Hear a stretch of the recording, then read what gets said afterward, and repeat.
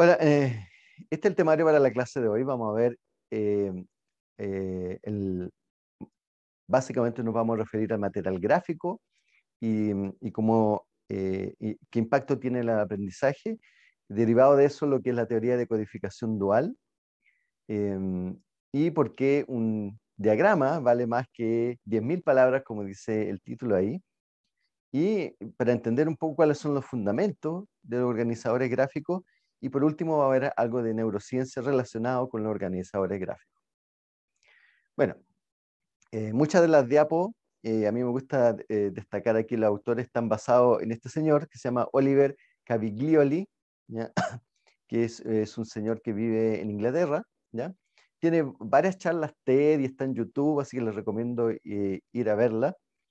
y que él, él, se especializa en este tema del, de del impacto que tienen las gráficas en el aprendizaje.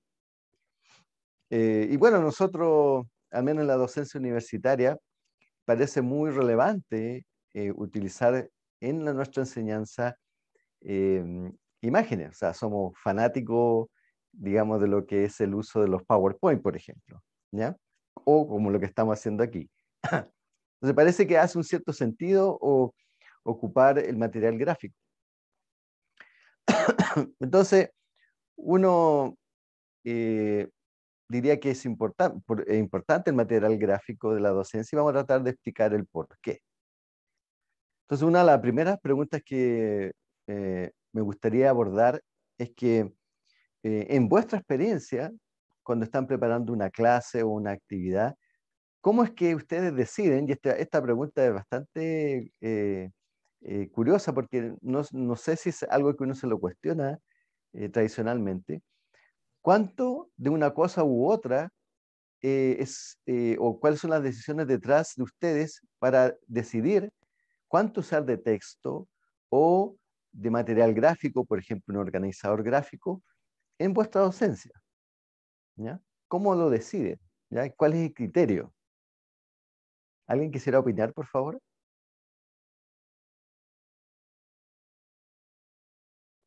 Es difícil la pregunta.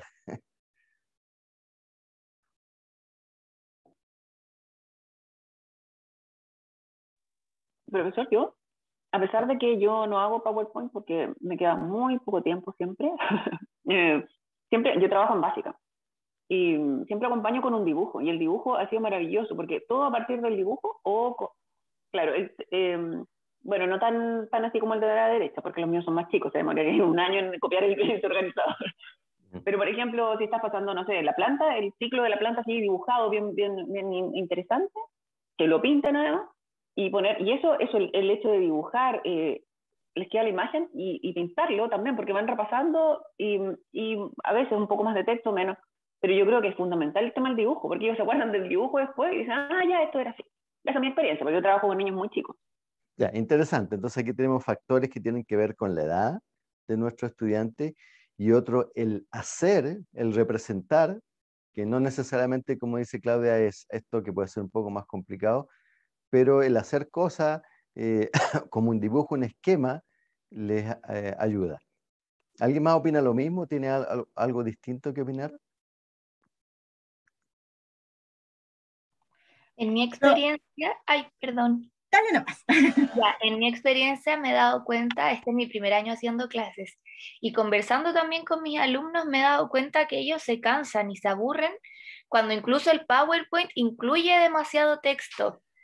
Eh, por ejemplo, tienen una profe de lenguaje que los hacía copiar, no sé, 10 eh, diapositivas de mucho texto y les estaban muy desmotivados en, en esa asignatura. Entonces me di cuenta que entre menos texto, eh, los niños eh, disfrutan más la clase y están mucho más motivados e interesados en la clase. Eso. Gracias, eh, muy, interesante eso. Em, eso uno lo podría resumir diciendo que tiene que ver con un problema de la atención. ¿ya? Es difícil mantener la atención por largos periodos de tiempo en estudiantes dos aportes. Em, Claudia me llevó a recordar, eh, perdón, primero Anita María que está levantando la mano. Ah, ya, gracias. Lo que pasa es que, por ejemplo, en mi caso que soy profesora de lenguaje, tengo que sí o sí presentar texto. No así tan fome como decía Bernardita con tantas diapos, pero sí tengo que llevarlos a que ellos se enfrenten a, a, un texto. Trato de ocupar textos breves en lo que se trata de, de por ejemplo, la educación online. Pero lo, ¿cómo ocupo las imágenes? Las imágenes las ocupo para motivar a la temática, para invitarlos a reflexionar sobre la temática. Entonces, cuando ya tengo la motivación y capto la atención a través de la imagen, ahí los, los preparo como para que se enfrenten al texto, más motivados. Y ahí voy jugando con eso. Gracias, gracias.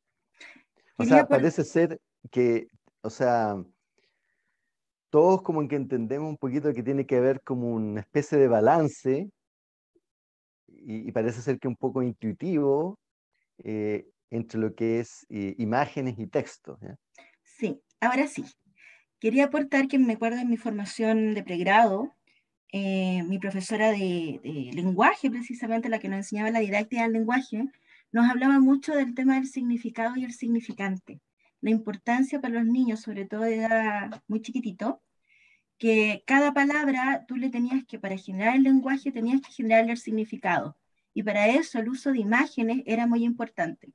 Luego en los años también nos hablaban de la importancia del, de precisamente estos power o, la imagen que tú les generaras, pero que en, en materia de quinto, sexto se habla de que estas, estas diapos no deben ser sobrecargadas.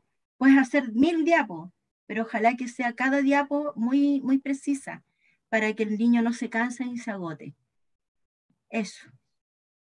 55, claro. Fernando, Fernando, perdón, Fernando está levantando la mano. Anita, se te quedó la mano arriba. Hola, sí.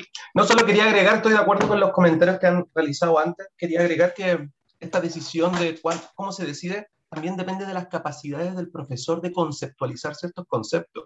Me pasa que, por ejemplo, yo más que clases en sí hago talleres para adultos, pero muchas veces cuando queremos eh, comunicar conceptos en lo personal, trato de... Eh, aquellas cosas que sé que estoy poniendo mucho texto en la diapositiva, trato de conceptualizarlas. Y finalmente también sabiendo que esa, esas diapositivas que van a utilizar luego igual las van a usar para estudiar, entonces tratar, trato de cierta manera de mi esquema mental llevarlo al PowerPoint para explicar y que ellos mismos después generen su propio, pero depende de la capacidad del profesor el conceptualizar ciertas cosas, porque no se trata solo de poner imágenes nomás. Por más que uno ponga una imagen y hable encima, no siempre es bueno o, o efectivo. Eso. Sí, bueno, si recordamos a Rosenstein, ahí entran dos principios básicos, lo que tú acabas de decir, Fernando. Entregar el modelo pero también conceptualizar y que el profesor reconociera su materia para que pueda entregar la información en pasos pequeños. Así que aplicas a Rosenstein. Sí, no, es que lo estudié ah, en la semana. bueno, eh, gracias Fernando. Aquí hay un punto eh, bien interesante que eh, tratado Fernando, tratado Angélica, respecto a este como de el, el esquema mental, el modelo, el concepto. Vamos a llegar a eso, ¿ya? Entonces, entonces la pregunta que uno se hace, eh, estas decisiones que uno toma, tendrá que ver con cómo organizamos el conocimiento y eh, a diferencia de muchas clases en que hemos utilizado esta imagen, ahora nos vamos a meter allá adentro. A ver, ¿qué onda allá adentro? ¿Ya? Esa, esa es la idea de la clase. Entonces, ¿qué nos dice un poco la neurociencia cognitiva acerca de la relevancia de los textos e imágenes para el aprendizaje. ¿ya?